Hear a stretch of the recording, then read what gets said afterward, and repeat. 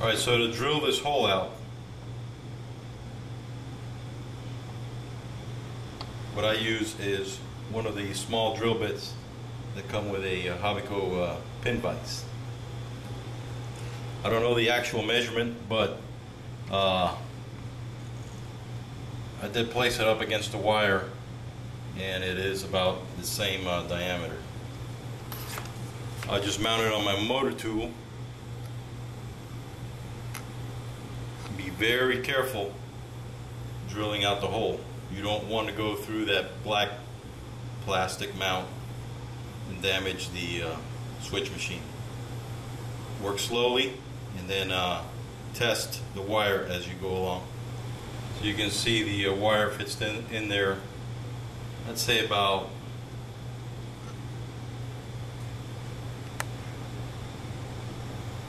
good uh, about a quarter inch. That's all you really need the wire, the uh, wire to go in the uh, black plastic uh, mount. Next step, you would just go ahead and bend your new wire to the uh, shape as required on the uh, tortoise instructions. Okay, as you can see, I've already put the bend in the wire as per the instructions.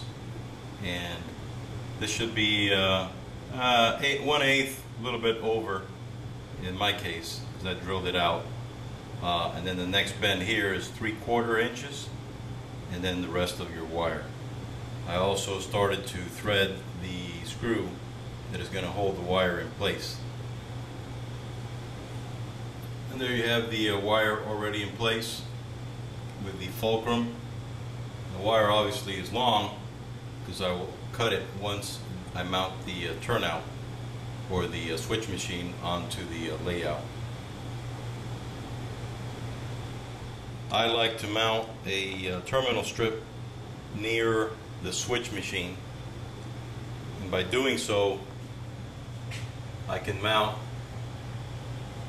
or dismount the switch machine simply by disconnecting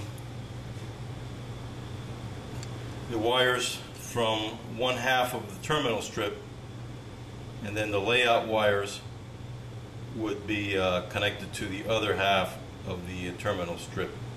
In other words, creating a, a breaking point for maintenance or whatever you may have to do. Okay, as you can see, here is where my switch machine will be going.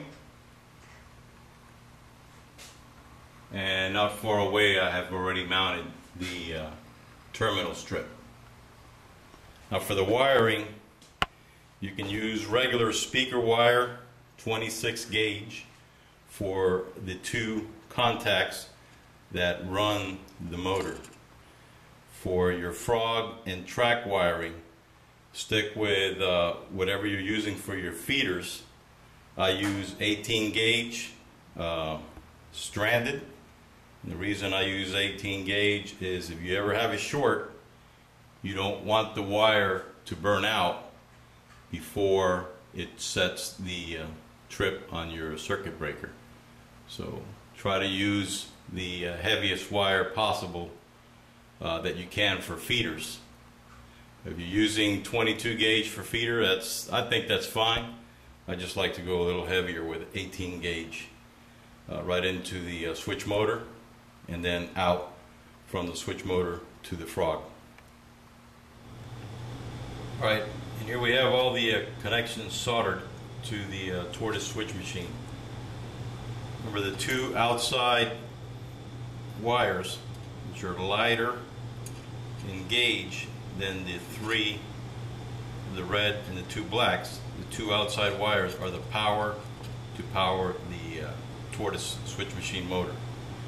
It takes uh, 12 volts, AC or DC, and what I do, I'll just connect these wires from the switch machine to a double pole, double throw mini toggle on my uh, uh, fascia, the panel uh, fascia, wherever uh, the switch is located on the diagram.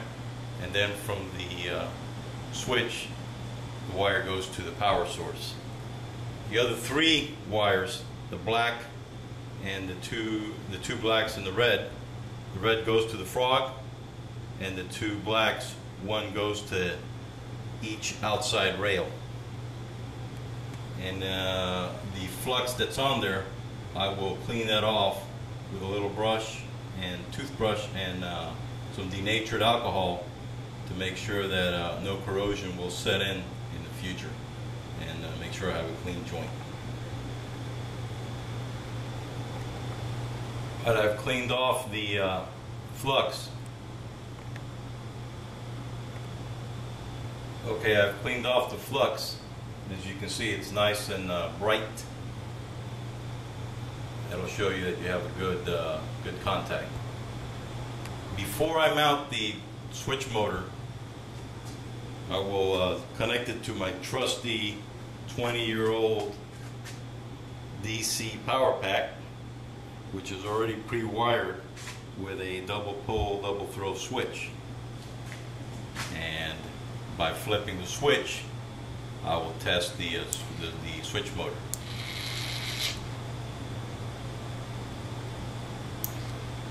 Center's off.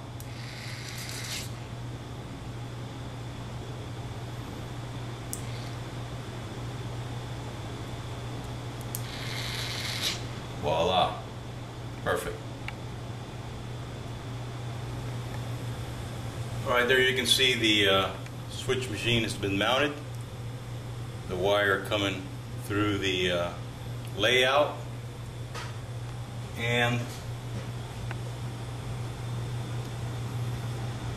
pretty much it's centered where in either direction you'll have positive contact on the uh, outside rails through the uh, clear route and through the diverging route. All that's left to do is cut the wire down to just below rail height and you're good to go. Now I can continue on with the uh, rest of the track work. One thing that people may think, well, you know, tortoise switch machines. I can get away with an Atlas and pay a lot less. And yeah, 1759 you'd say is a lot for a, a switch machine.